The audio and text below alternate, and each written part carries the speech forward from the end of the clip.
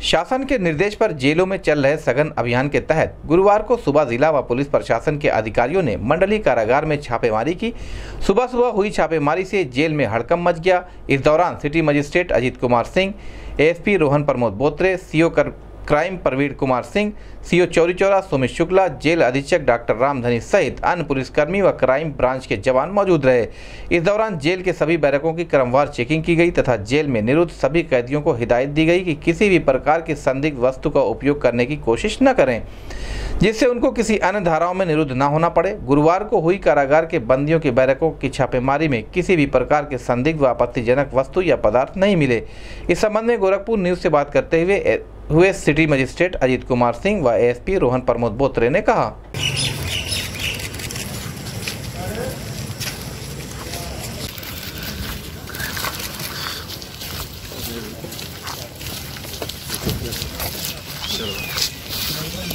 सूचना मिली थी और जिलाधिकारी महोदय का आदेश भी था।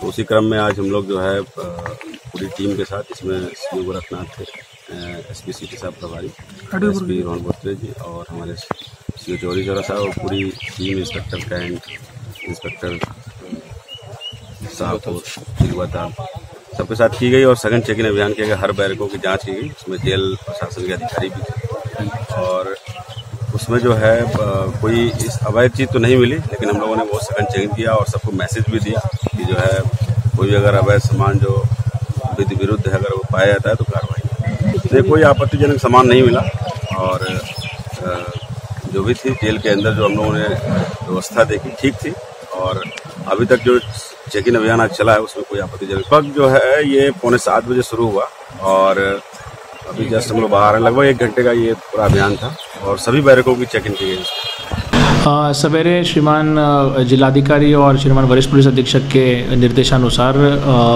मैं एएसपी गोरखपुर और सिटी मजिस्ट्रेट सीओ गोरखनाथ और सीओ चौरी चौरा सभी लोगों ने मैं फोर्स के साथ कारागार की चेकिंग की। उसमें आ, सारे जो जितनी भी चीज़ें चेकिंग करने लायक होती वो सब चेकिंग की पर ऐसी कोई अवैध वस्तु हमें मिली नहीं वहाँ पर सर महिला कैदी कैदी भी वहाँ पे हैं उनके साथ बच्चे भी हैं और विदेशी कैदी वहाँ पे हैं। उनकी भी चेकिंग चेकिंग हमने सभी की की सारे बैरक्स में मैं फोर्स के साथ चेकिंग हुई थी।